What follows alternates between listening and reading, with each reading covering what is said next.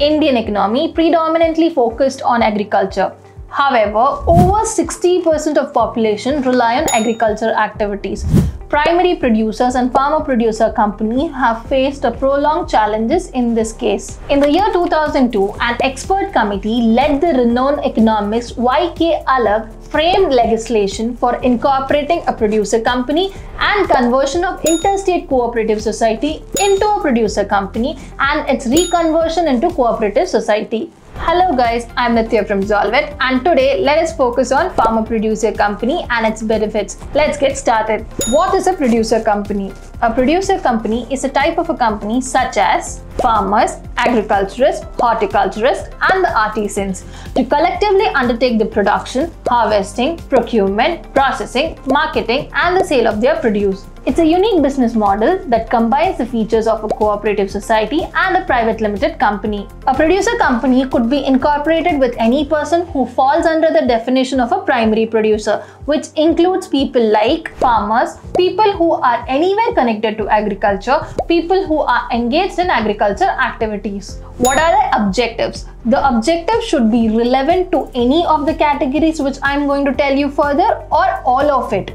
That could be production of agricultural produce, harvesting, procurement, grading, pooling, handling, marketing, selling, import and export of agricultural raw materials. Let us go through the checklist of an incorporation of a producer company. 10 or more individuals or two or more producer institution can form a producer company. Minimum paid up capital is required. The company must have 5 to 15 directors. Conversion to a public company is not allowed. However, it can become a multi-state cooperative society. Now, if you're ready with the checklist, let me quickly tell you the benefit of the producer company. Value for produce. Members receive the value for the pooled and the supplied produce determined by the directors in form of cash, kind or equity shares. Bonus share.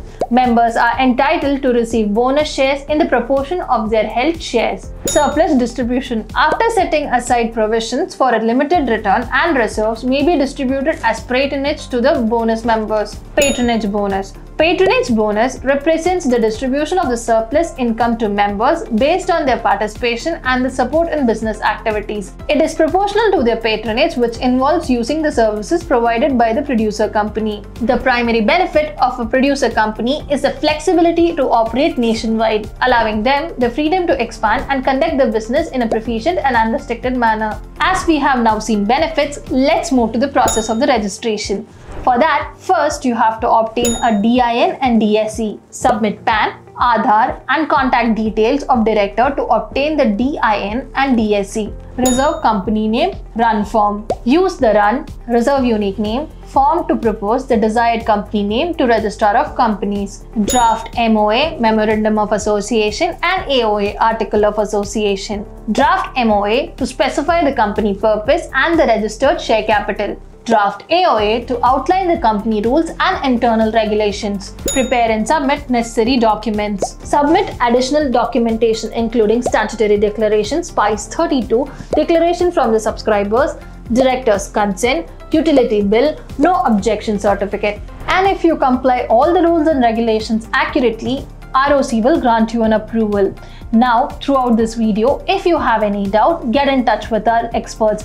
Producer company registration is now available at Zolvit and it's hassle-free.